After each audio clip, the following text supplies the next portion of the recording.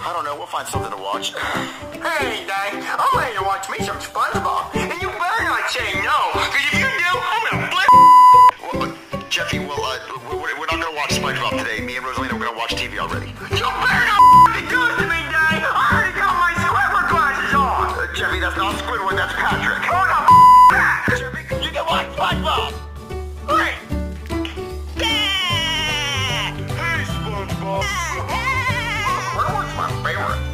coming. If I had a nickel for every time I heard that one, I wouldn't be in getting sued. Well, look, the reason why we called you is my son's been screaming, yelling, throwing stuff, and cussing us out. Squid.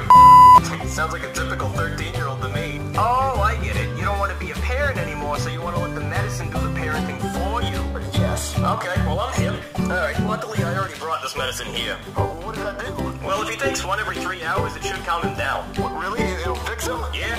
Are there any bad side effects? Um, the side effects of this medicine is that it might make him really angry. All right, Jeffy, swallow it.